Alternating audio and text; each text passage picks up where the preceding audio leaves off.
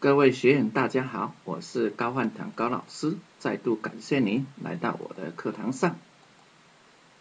现在我来继续说明这个我们的实践策略啊，就是第二项，也就是策略二。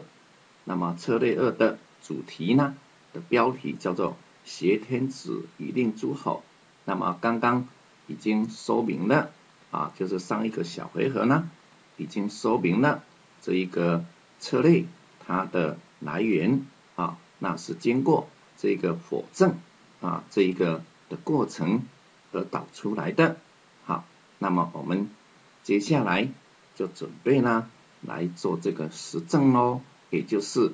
来做策略二的实践啊，来透过实践的过程来啊做的实证。OK，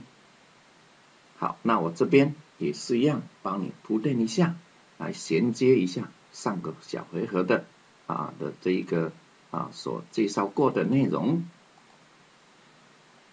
就是刚刚呢，就是在上个小回合呢，我们啊这一个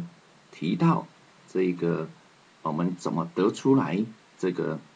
策略二，也就是说有很多人问高老师，那么这个挟天子令诸侯。这个实践策略是怎么出来的？所以我才在上个回合当中呢，把这一个思路的一个过程呢啊跟你介绍喽。那么在这里呢，我们再来说明一下，就是在上个小回合所这一个谈的过程呢，都是在假定否证的引领之下啊，也就是我们的四项啊四种这一个啊。假设性的思维的一种运用，那么引导我们探索更多的这个 unknown，就是我们一直在谈的啊这个啊我们啊 know unknown，我们探索到更多的未知事物，虽然还没有进行实证，但是也显示出来啊这个越来越多的这个跟我们的目标。有关的新事物，而且呢，啊，这个有正面关联的新事物呢，逐渐的浮现出来，啊，譬如说，我们在上一个小回合呢，也看到了建立两层的 EIT，的确呢，它可以让我们呢，在这个啊结构里头，能够呢，一个 I 是代表的这一个 Android 框架的 I，一个代表。曹操框架的 I，那么再透过曹操框架的 E 来做转换，的确我们能够呢这一个包装这个 Android 的 API，然后呢转变成为我们自己制定的 API，所以这个更多更多这个事实已经浮现出来，因此呢让我们越来越有信心喽，所以我们就继续的探索下去，那么接下来呢？我们的探索啦的部分呢，将转为实证，OK，转为实证。因为这个啊假定跟否证，它最重要最重要是在引领我们探索未知的事物。那么我们的这一个事物已经啊越来越发现，我们的这个逻辑是通的，也就是左脑呢已经现在已经啊这一个啊能够认可。这样的一个愿景了，我们就转为实证喽。所以呢，在转为实证的时候，我们要回来啊，这个仔细的观察这个啊景象，以及观察这个问题啊，观察这个问题，那来看看这一个啊这一个一般所遇到的问题，它的来源是什么？那这个时候呢，我们还是脑筋里头呢有了我们的策略，有我们的基础。有我们的方案，所以我们再来看景象跟问题的时候呢，跟一开始模糊的景象、一个不完整的问题的时候啊，并不一样喽。现在再来看啊，这个现实的景象跟问题呢，会更有更有这一个啊，这一个我们所谓的叫做洞悉力喽。啊，就是我们能够看到的更细腻啊，我们能够看到。里头的更重要的，更是任督二脉的地方喽。所以跨越这个大平台，就跨 Android 大平台，它的问题呢啊是源于被别人 EIT 喽，所以这就是我们心中有了这一个策略，有了做法之后呢，我们就会用这样去形容我们的问题哦啊，那如果我们没有经过上一个啊回合呢等等的这样子的假设跟否定，那么我们。对于问题呢，啊，只会用文字去说明，就不会用这样的一个很专业的一个很有啊这一个策略面的这样的一个术语，叫做被别人 EIT 了啊，别人成为强龙，我们成为地头蛇，好，担任装配这一个就是我们被贬为这个地头蛇呢，那么地头蛇的任务就是担任装配这个 T 的角色。OK，哦，这个就是我们心中已经有了这一个策略方向，已经有了这一个实践策略啊。虽然还没有实证，但是我们已经再回来看这个问题的时候，可以把一个原来很模糊的景象，一个不完整的问题呢啊，就是增强了我们的洞悉力。所以我们就用很专业的这一个几句话。就把整个问题呢，啊，把景象问题的症结全部点出来喽，啊，这就是我们经过那么漫长的这个假定跟否证啊的功夫是没有白费的，啊，那希望你能够啊从这里去领悟到我们为什么要经过这个假定否证的那个漫长的过程，啊，那就是它可以增强我们对这个现实景象。的一种洞悉力啊，那对我们制作策略是非常有帮助的，可以啊找出呢啊这一个越非常能够这一个以最低的成本啊以最方便的方法四两拨千斤把这个问题解了，OK，所以在别人的平台上受制于人，因此呢才有这个啊跨平台的期望。因为你是受益受制一个人受啊受制于别人，所以才会哇哇叫嘛。比如说你被绑住了，你就哇哇叫嘛，所以你就希望跑跑掉嘛，对不对？摆脱掉别人的这一个啊束缚嘛，一个枷锁，对不对？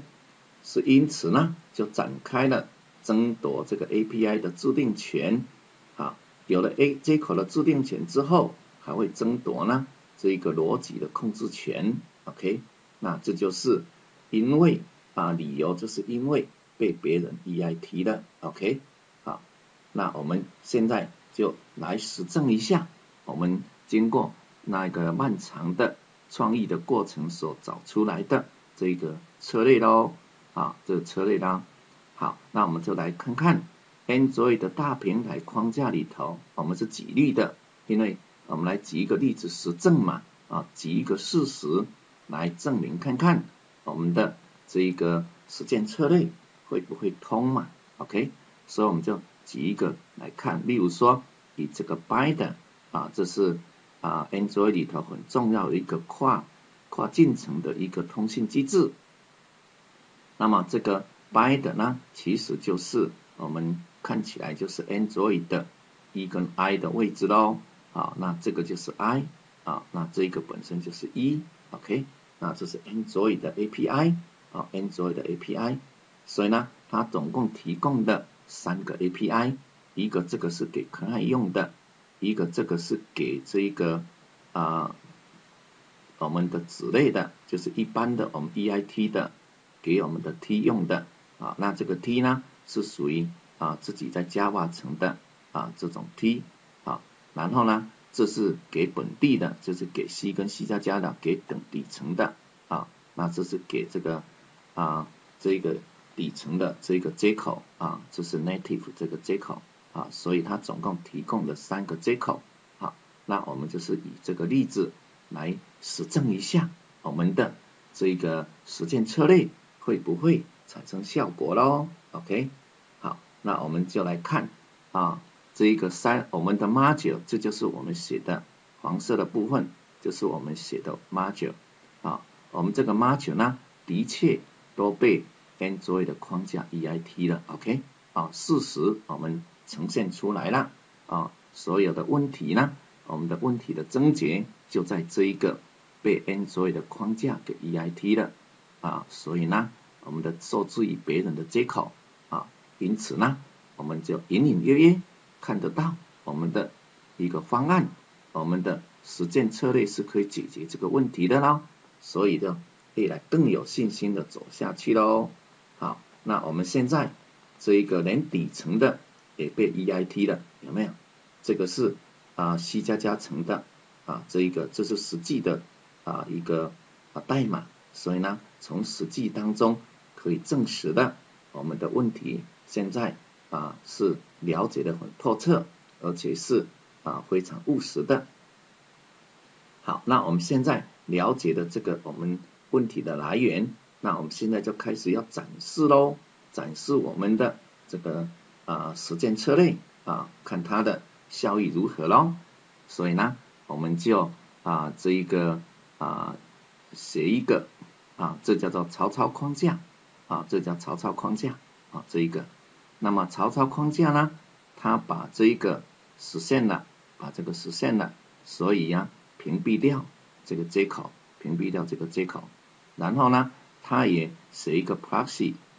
啊，它把这个接口呢，把这个接口转变成啊，这个是我们自定的接口啊，自定的接口用 i 来表示好了，所以呢，它把这个经过这一个啊来啊来转变成啊，这个是上面的 t，那也是下面这个 EIT 的一的一，所以经过这个的转换。把这个北母的接口把它包起来，转成我们自己的接口，哎，所以这个实证上告诉我们这个 solution 是通的。好，那这是对于这个 server 的部分，对 client 的部分呢，还可以写一个 proxy，把这个接口包起来，提供一个新的接口，新的接口，OK。所以呢，它可以很完美的屏蔽掉这个接口啊，这个接口。那这一个等一下马上就看到了。啊，屏蔽掉这边的接口，然后呢，接下来是啊自己制定一个新的接口啊，所以这个新的接口呢，这里是画错了，画错了，这个新的接口在这。啊，那这一个东西是这一个，这是旧的接口，我们刚刚看到的，这里这是啊原来的接口，原来的接口，所以我们是啊新的接口在这里。啊，新的接口啊，这个不是啊，新的接口在这里，OK？啊，所以制定了自己新的接口啊，然后封装了别人的接口，OK，然后再来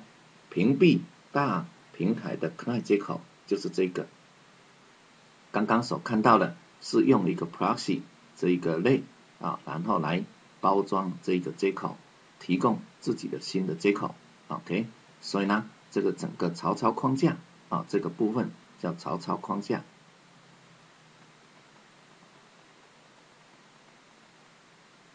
曹操框架把这个汉献帝的两个接口，一个是这一个，这是对这个 T 的接口啊，对 Server 的接口；一个呢，这个我们称为叫 CI，就是对 Client 的接口啊，两个都把它封装起来。然后呢，这边提供我们自己的新接口，这边呢提供我们的新接口。因此呢。我们看起来，我们的这一个啊，依据我们的多层框架啊，多层框架啊，在上个小回合的这个多层框架的结构啊，的确呢，能够发挥的它的效益，会有它发挥它的效果，所以呢，我们就继续的把这个曹操框架建起来咯，就可以提供给这一个别人呢，来写这个啊，写这个 A P 咯，或者写这个 module 啦，所以这个部分。也是归到我们现在我们的 My Module，好，这是也是我们的 My My Module 的啊这一个一部分，啊，这是 My Module 的 Server 的部分，这是 My Module 的 Client 的部分，OK，啊，Client 的部分，这 Server 的部分，所以我们弄一个曹操类啊，就把它屏蔽掉了，把这一个东西屏蔽掉了。所以我们的这一个 my module 就不受制于它的这个接口喽，因为我们这个 module 呢，只会用到这个这自己定的接口，然后呢，这个 my module 呢，也不会用到它的接口喽，它是用到我们自己定的接口，所以呢，这一个啊平台有改变，即使把这个接口的名字都改了，我们这里还不用改，还不用改，对不对？所以呢，我们这样就可以跨这个大平台啊，跨大平台，OK。啊，跨大平台，那这一个部分叫做曹操框架，这叫汉献帝的框架，就是 Android 框架，这个是我们的 module，因此呢，我们就可以跨这一个啊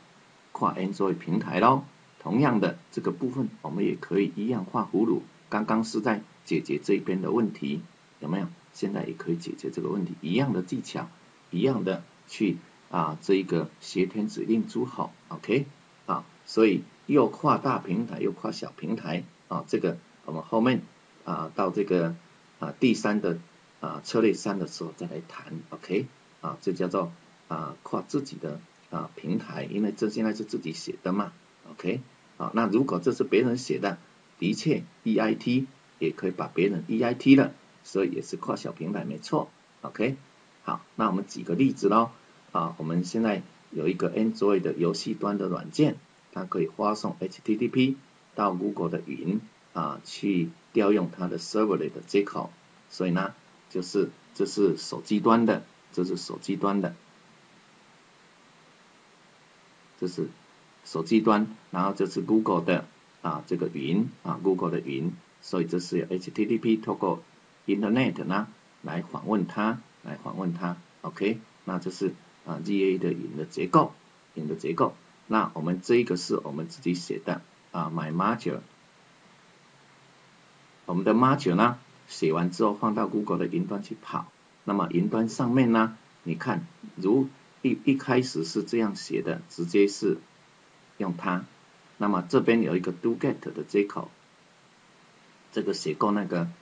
啊 Web A P N 大家都知道，所以我们这边要去实现这 do get 的接口啊 do get 接口。因此呢，我们就受制于它的这个接口，我们这里头就很难跨平台了，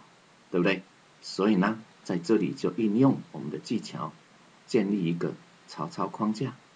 啊，曹操框架，让我们这里呢应用我们自己定的接口来取代它的接口，对不对？那这样子我们的 My Module 就可以啊跨大平台喽啊跨大平台喽，啊，这是以实际的例子。啊，是这样的一个设计的。那么我们这个叫做曹操的平台啊，曹操的框架啊，曹操框架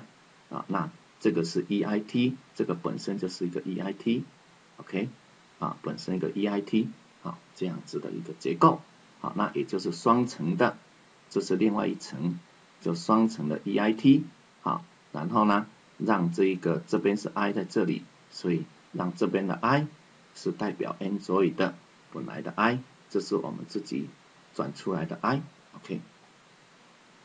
好，那这里为什么会把这种分开来呢？这就是我们的概念，就是把重要的逻辑呢，跟这一边把它分开。为什么？因为在这一个 t 这个地方，因为这个是啊属于这个啊 EIT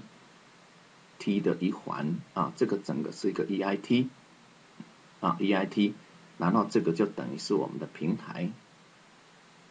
啊，这个平台呢，跟这个 T 把它分开，T 是为了跟它衔接的，那很多重要逻辑放在这个平台，啊，放在这个平台，啊，这是一般的做法都会是这样做的，啊，就是我们有看过的，我们的这一个这是引擎，这是轮胎，这是我们的高速公路，啊，都是一样的这样的一个结构，那这样的结构有什么好处呢？啊，这个 ZM 可以变成一个壁虎的身体。这个变成壁虎的尾巴啊，这样的意思是什么呢？啊，这一个因为跟它是息息相关的，所以当这里有改变的时候，大平台有改变的时候，这一个要弃尾求生，这个要弃尾求生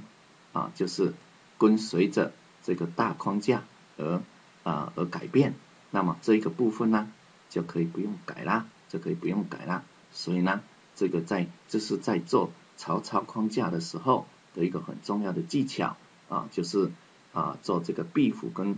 啊壁虎身体跟壁虎的尾巴做分离啊做分离，那这样子可以让曹操框架本身也能够跨平台。OK，我们今天谈的不是只有让我们的买妈九跨平台，而且呢还说明了怎么样子让